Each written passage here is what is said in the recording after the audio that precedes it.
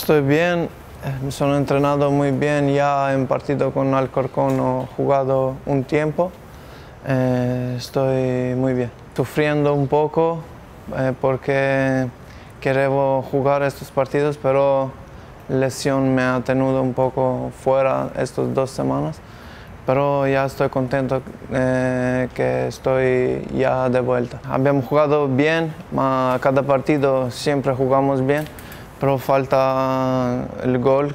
Eh, entonces estamos concentrados en el partido contra Leche esta semana para conseguir la victoria.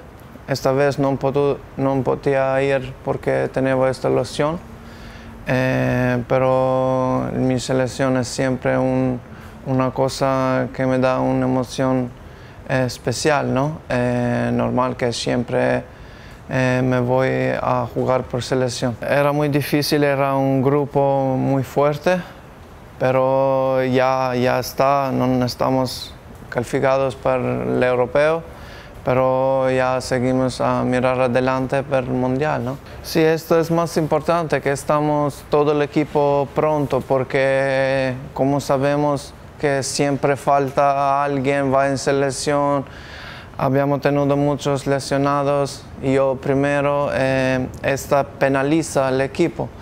Pero ahora estamos contentos que estamos todos juntos eh, y ya ahora toca hacer las victorias, eh, recoger tres puntos. Y es una afición que, para decir la verdad, a mí me emociona mucho. Nunca he visto una afición que apoya así el equipo, porque a veces eh, la afición se enfada ¿no? cuando el equipo no engaña.